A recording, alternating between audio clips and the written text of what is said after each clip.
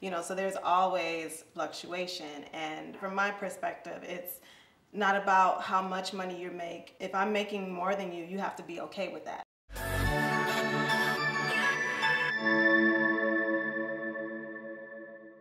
How would you feel if you were dating or with someone who made less money than you?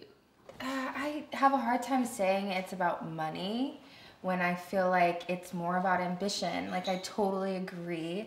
I have check marks, I have goals, I have things I want to accomplish. And if you don't want to have anything successful in your life, then I'm not in that range. Now, if you make less money than me, cool. I'm gonna make what I make. We can put it together. Just maybe, as long as you're know. working. Right. Just as long as you're working. And you care enough to, you know, contribute. to it. yeah. Well, my husband and I are both actors. Okay. And so, you know, money goes up and goes down and goes away and comes in in heaps, you know, so there's always fluctuation. And from my perspective, it's not about how much money you make. If I'm making more than you, you have to be okay with that. Like if that's going to stress you out to the point where it's, you know, causing too much, you know, pressure and stress on the on the relationship, then that's not good. You got to be Right. secure. Right. You know, and as long as you are doing what it is that you want to do and providing to the relationship in some kind of way, then you know who knows what it's going to be in a year from now, Yeah. or even a month or a week. You know, in our industry anyway. That makes sense. That makes sense. I work creatively um, with my boyfriend on a bunch of different things, and he jokes about that a lot too. About like, oh yeah, you're gonna be the breadwinner for sure. He's so like, he's always he's like my biggest fan for real. Anything I'm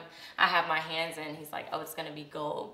So he always jokes about that, and I think about it sometimes, like, well, I guess I could be, and I, I think I'd be okay with it. I feel like there is that it, it can definitely be empowering, but there's like that ego thing that Yeah. people sometimes have to work through. And like you said, if you're if they're comfortable with it, if it's not a big deal, I think that's what kind of makes or breaks it. yeah. So And as long as they're contributing something, and so, you know what I mean. Like my husband is a go-getter, and he's he sits on the couch ten minutes, and he's like, ah, like chill out, That's babe. It's okay, yeah. But you know, when I'm making more, he's you know building, and when he's making more, I'm building, and so it, it works out. okay, I love that. because we've been together for so long, like we started out with no job.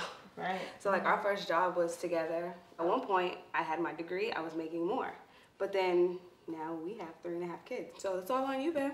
so where you going today? What you gonna do? but I mean, it gets hard because, like I said, he's an artist. So just like how you said, acting, it could go up, it could go down all at once. So he hustles hard. He Okay, hard. so you gotta have your balance. That's so dope.